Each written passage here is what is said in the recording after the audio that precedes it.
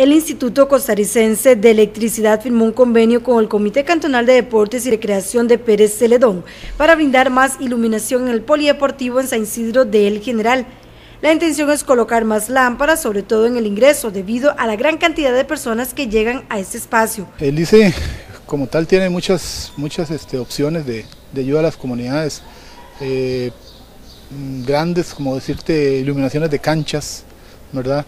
Eh, se iluminan canchas, hicimos hace poco un convenio con el polideportivo para ver de qué manera mejoramos la iluminación del polideportivo por la parte de afuera que es muy oscura, la gente que va a caminar y ya a las 7 de la tarde no puede pasar por ahí porque es muy oscuro. El proyecto tendría una inversión superior a los 8 millones de colones.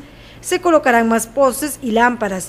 También se incluirá para el acceso a Wi-Fi. La idea es este, em, ayudarnos mutuamente, ¿sí? okay. Nosotros eh, ponemos o instalamos ahí marca, la marca de la empresa y a la vez este, ayudamos al mejoramiento de, la iluminación de, la pista por fuera o también hay otros proyectos de, em, árboles que también se pueden dotar.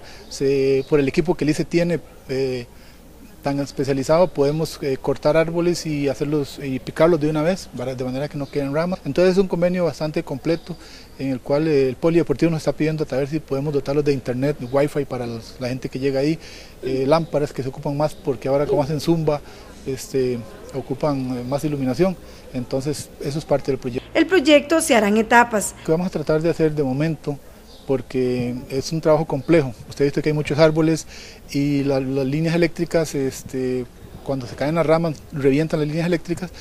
Eh, las ardillas también rompen el tendido eléctrico, entonces por el momento, entonces estas líneas hay que cambiarlas, estamos hablando más de, un, kilómetro de distancia, eh, más de mil metros de cable triplex, que es bastante oneroso y este, de momento solamente vamos a cambiar de lámparas para que puedan alumbrar un poco más, pero ya para el otro año estaríamos metiendo en proyecto ya eh, meter más postes eh, cada 50 metros, eh, cambiar todo el cable y meter ya alumbrado de, de punta. ¿verdad? La intención del ICE es dotar de más iluminación a este espacio.